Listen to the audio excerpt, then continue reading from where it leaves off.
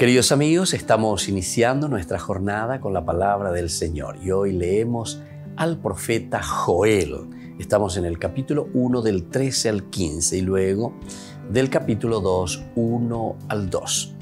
Viene el día del Señor, Estamos en la vigésima séptima semana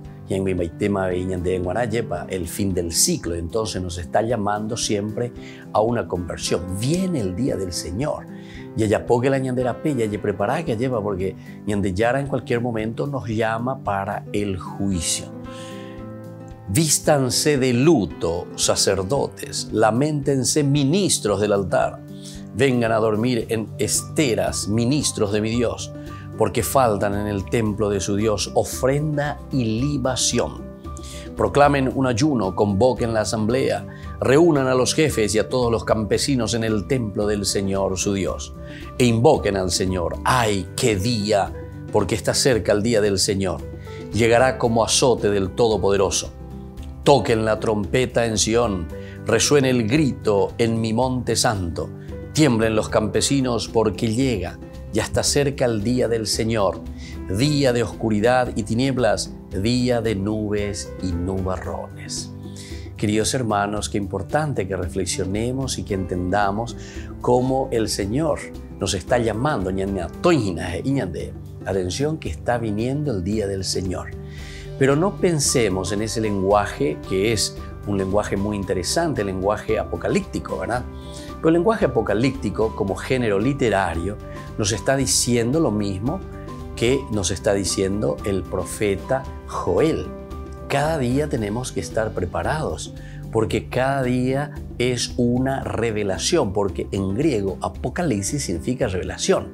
Peñan de Yara, oye, cual lleva, es la manifestación de Dios. Y continuamente Dios se manifiesta. No significa una cuestión negativa, sino que al contrario, es la presencia de Dios mismo que ilumina y ahí nosotros nos damos cuenta, como en ese día de la luz, que salimos de nuestra oscuridad y nos damos cuenta si estamos limpios. Pero para eso necesitamos la presencia de esa luz que ilumina. y por eso está llamando, y aquí llama este, continuamente el profeta Joel como los otros profetas, vístanse de luto, ministros del altar, lamentense, vengan a dormir en esteras, eh, porque falta en el templo de su Dios ofrenda y libación. Esto significa entonces falta compromiso de parte de ustedes. Cuaque, de. Y así como el Señor nos llama, significa que nos está llamando a una verdadera conversión. Cada uno tiene que hacer lo suyo, cada uno tiene que vivir de acuerdo a esas promesas de Dios para que nosotros seamos felices. Es decir, esa promesa que tenemos que asumir en nuestra vida y ese compromiso que también nosotros asumimos con la vida cristiana, con nuestro compromiso cristiano, con nuestro compromiso del bautismo y que la bendición del Señor descienda sobre todos ustedes, el Padre y el Hijo y el Espíritu Santo. Amén.